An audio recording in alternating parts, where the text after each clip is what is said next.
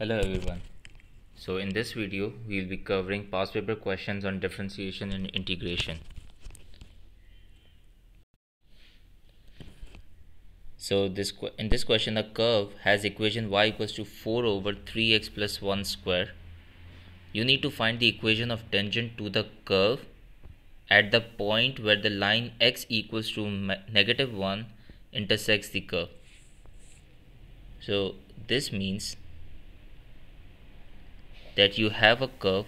I don't know what it looks like but let's say you have a curve and the line you need to find the equation of the tangent to the curve at a point where the line x equals to negative 1 so let's say x equals to negative 1 intersects the curve at this point p.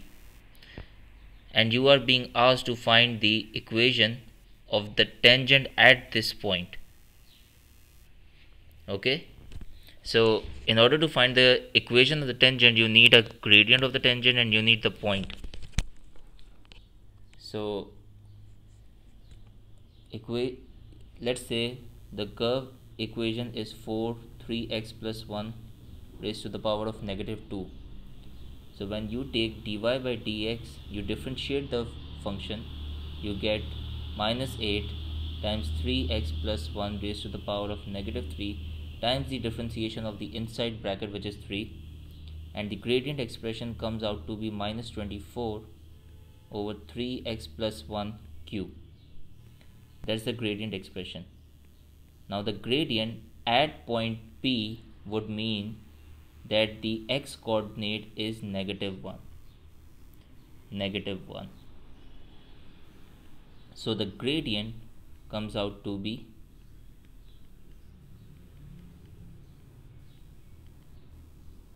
so if you work this out the gradient comes out to be 3 okay? Now when when x is negative 1 using the equation of the curve you can easily figure out the y coordinate.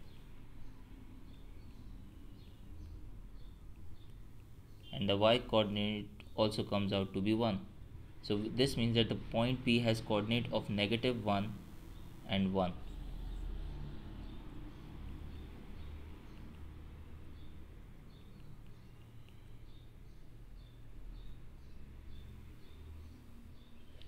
now you need to find the equation of the tangent. Equation of the tangent would be in the form of y minus y1 equals to m x minus x1 so y minus y1 the gradient is 3 x minus x1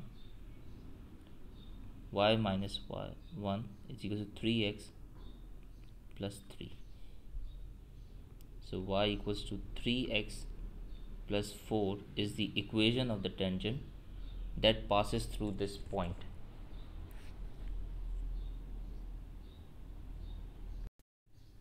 Okay, so in this question, the question says that the function is defined for x greater than 0 and is such that the differential of the function f prime of x is 2x minus 2 over x square. The curve y equals to f of x passes through the point 2 comma 6.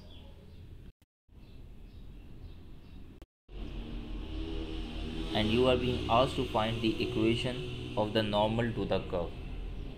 Okay so in order to find the equation of the normal to the curve at point P I must have the coordinates of P which is already given to me in the question. And you need to find the gradient of the normal at to the curve at P. So first of all the f prime of x expression has been given to you right? You want to find f prime of x at x2 and this will give you the gradient of the function at the curve to the curve at P.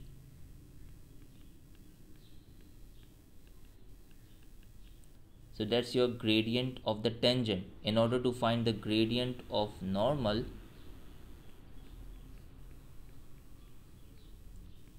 it will be then simply negative reciprocal minus 2 over 7 now equation of normal would be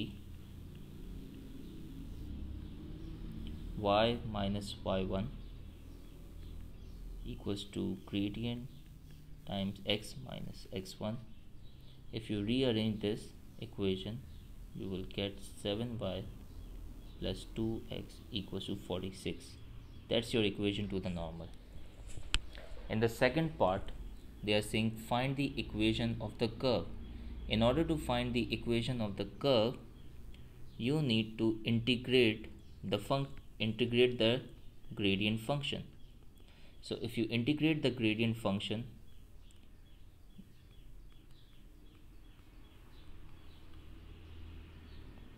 so if you integrate the gradient function you get 2x square over 2 minus 2x raised to the power of minus 2 plus 1 negative 1 over negative 1 plus a constant of integration.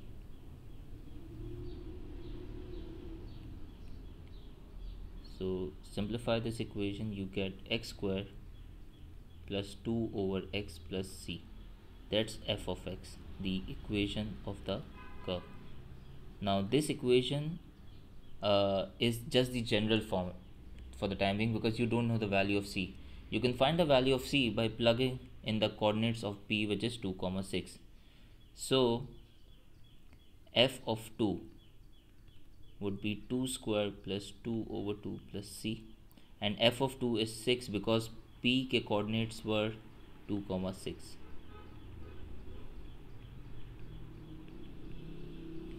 so c comes out to be 1 therefore function equation would be x square plus 2 over x plus 1 that's the equation of the curve.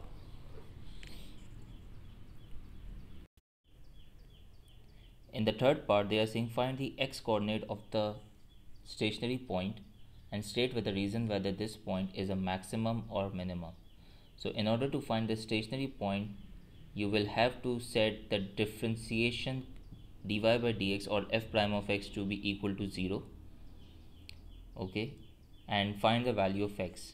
And then in order to find whether this point is maximum or minimum you take the second derivative and find the nature of the curve. So I'll show you how to do this.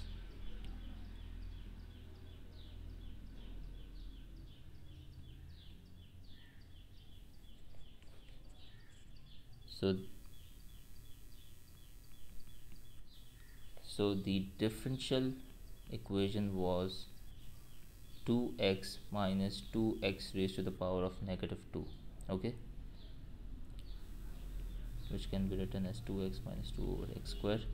Now f prime of x in order to find the stationary point stationary value of x you need to plug f prime of x as 0 okay?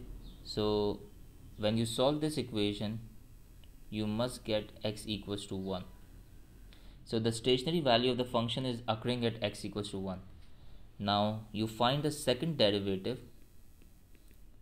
So you differentiate this function again. You get 2 and differentiation of minus 2 x raised to the power of minus 2 would be plus 4x raised to the power of negative 3 okay? Now you plug x as 1 in the second derivative and you get a positive value. Since f double prime of at 1 is greater than 0 hence the point is a minimum point. Alright so the base of a cuboid has side of length x centimeter and 3x centimeter and the volume of the cuboid is given to you. In the first part you are being asked to show that the total surface area of the cuboid is given by this expression. So you have been given a cuboid okay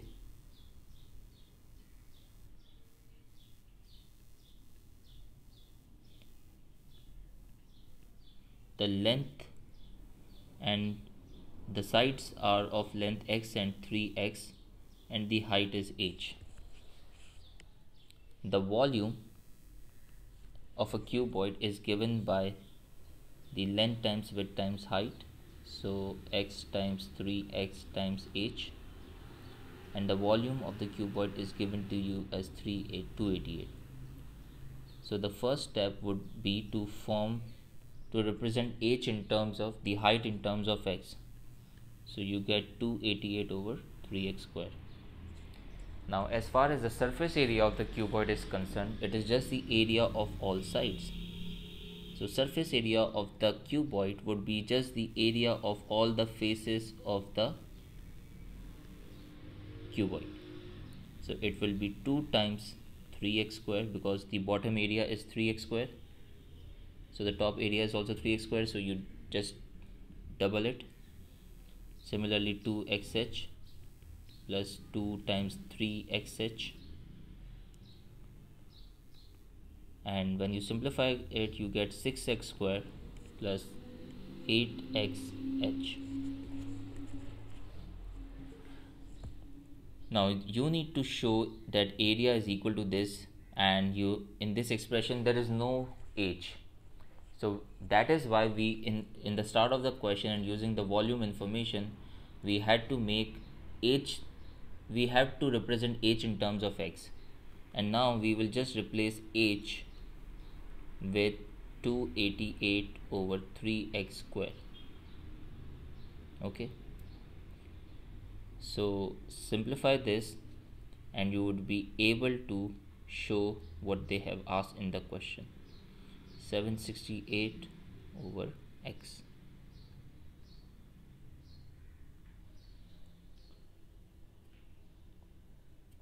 now as for the second part the question says that given that x can vary, find the stationary value of a and determine its nature. Now, in order to find the stationary value of a, first of all, you need to differentiate this expression of a, dA by dx, and set it equal to 0 and find the value of x for which a has a stationary value. Now, this stationary value of a can either be maximum or minimum at that particular value. So, we will take the second derivative and then find the nature of the curve.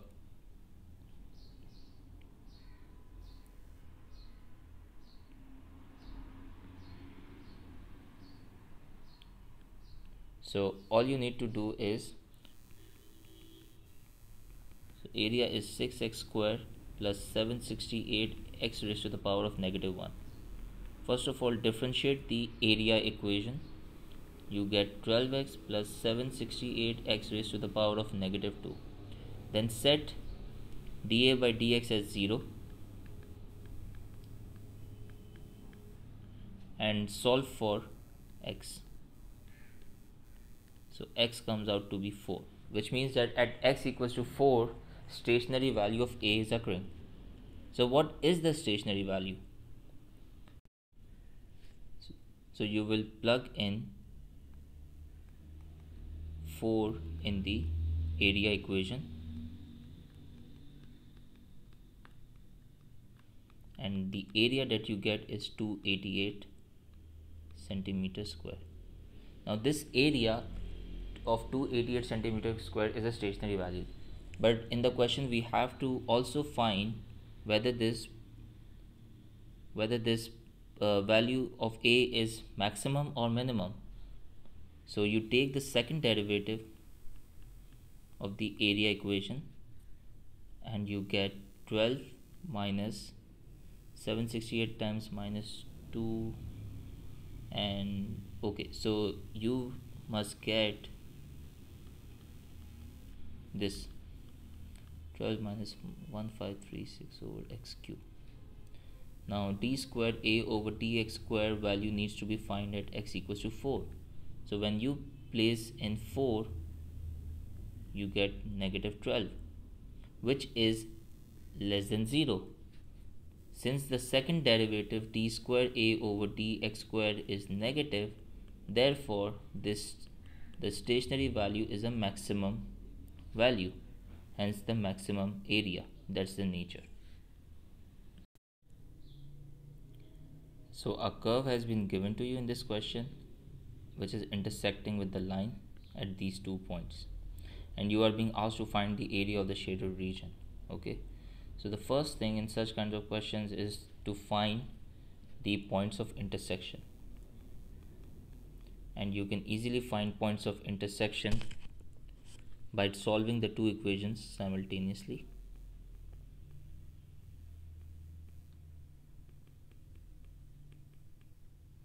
So when you simplify this you get minus x squared plus 10x negative 21 equals to 0 and solve this quadratic equation you will get the two values of x 3 and 7 which means that this is the lower limit 3 and this is the upper limit 7 okay? Now when you integrate the curve when you integrate the curve from 3 to 7 it will give you the area under the curve. Okay? This entire area.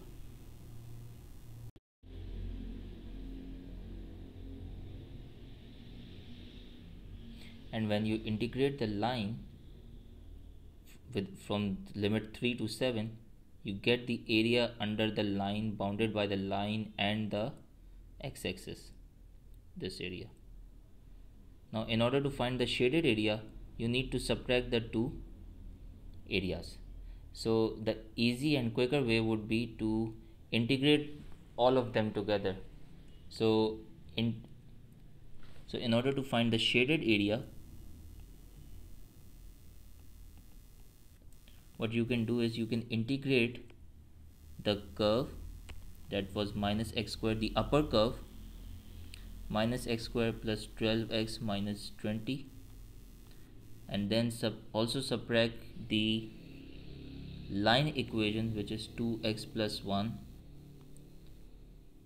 because the limits are same so you can integrate them together by following the upper curve minus the lower curve and then integrate for the same limit 3 and 7 so simplify this expression you get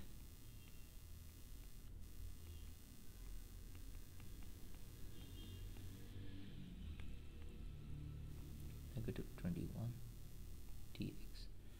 Now at this stage you are required to in integrate it. So x cube over 3 plus 10x square over 2 minus 21x and the limit upper limit is 7 and the lower limit is 3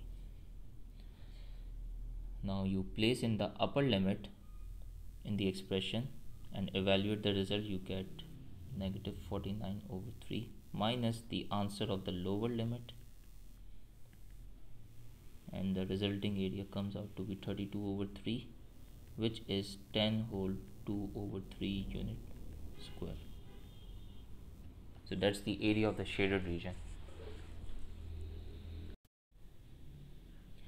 The diagram shows part of the curve y equals to x minus 2 raised to the power 4 so that's this curve and the point a 1 comma 1 the tangent at a cuts the x-axis so the tangent line cuts the x-axis at b and the normal at point a cuts the y-axis at c. And we are being asked to find the coordinates of b and c. Okay so in order to find the coordinates of b and c I must have the equation of the tangent and the equation of the normal. So in order to find the equation of the uh, tangent you need the gradient of the tangent. And for that we have to differentiate the curve at point a. So if y was equals to x minus 2 raised to the power of 4 then dy by dx would be 4 times x minus 2 cube and dy by dx at x equals to 1 which is at point A the gradient comes out to be negative 4 okay? So if the gradient is negative 4 let's make the equation of the tangent which is y minus y1 so the point A is 1 comma 1 y x coordinate is 1 and the y coordinate is 1 the gradient is negative 4 x minus x1 the equation of the tangent comes out to be minus 4x plus 5 and the since b lies on the x-axis so the y coordinate would be 0 and the x coordinate comes out to be 5 over 4 so b has a coordinate of 5 over 4 comma 0 similarly to find the coordinates of c you will have to okay now I do have the gradient of the tangent. So the gradient of normal line would be simply the negative reciprocal 1 over 4 and the equation of the normal would be y minus y1 m x minus x1 so 4y equals to x plus 3 now the normal line cuts the y-axis at point C which means at y-axis point C will have x coordinate of 0 so y comes out to be 3 over 4 therefore C's coordinates are 0 comma 3 over 4 okay? Now in the second part you are being asked to find the distance AC and distance AC can be found by the distance formula. The coordinates of C are 0 comma 3 over 4 so y x2 minus x1 the whole thing square plus y2 minus y1 the whole thing square square root. So when you work it out you get square root of 17 over 4 that's the distance. The last part says find the area of the shaded region. Now when I know that this point is 1 and this point is a minimum point on the curve so let's first find what the minimum point on the curve would be. So for that I'll have to differentiate the curve and set it equal to 0. So I already have the gradient expression as 4 times x minus 2 the whole thing cube. I'll set dy by dx equals to 0 and find the value of x at which this minimum value of the function occurs. So the value comes out to be 2.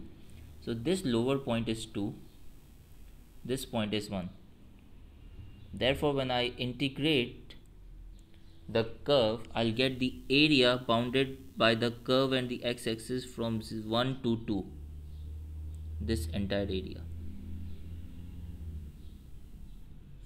okay so the area is simply the integration of the curve from 1 to 2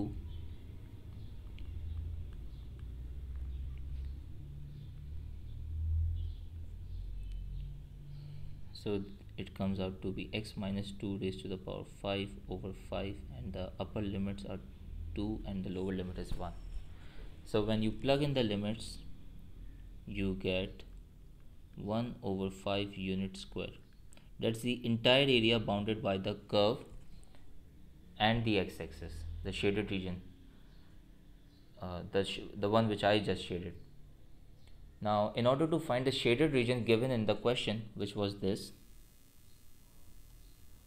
I have to subtract the area of this triangle from the answer obtained right now. So the B B's coordinates were x coordinate was 5 over 4. So this length would be 1 over 5 over 4 minus 1 1 over 4 this this height is 1 and in order to find the shaded area shaded area would be the area of the curve minus the area of the triangle which is half times 1 over 4 times 1 okay? So if you can work this out you get 0 0.075 unit square. That's the area of the shaded region okay so in this question a curve has been given to you and this is the shaded region bounded by the curve and the y-axis the question says that the diagram shows part of the curve y equals to x square plus 1 you need to find the volume obtained when the shaded region was rotated 360 degree about the y-axis so when this shaded part would be rotated 360 about the y-axis a solid of revolution would be formed and we are required to find the volume now whenever we are required to find the volume when the shaded part is rotated in 360 degree in the y-axis we need to take care of couple of things. The first thing is that the function needs to be in y. Okay so the general form would be you need a function in y you need to square it. Okay there is pi also over there. You need to integrate it with the y limits integrate the function with respect to y and plug in the y limits. So as per our question pi times the function of y. So y is equals to x square plus 1 so x would be equal to y minus 1 raised to the power of half. So y minus 1 raised to the power of half. Now the this states that the function whatever the function is it needs to be squared. And the limits would be for y. So the limits are 1 and 5 so the lower limit is 1 the upper limit is 5 and you need to integrate the function with respect to y. So this leaves us with y minus 1 dy. So integration of y minus 1 would be y square over 2 minus y the upper limit is 5 and the lower limit is 1 when you place in these limits you get for the upper limit and for the lower limit you get this. And you can work this out. The volume comes out to be 8 pi unit cube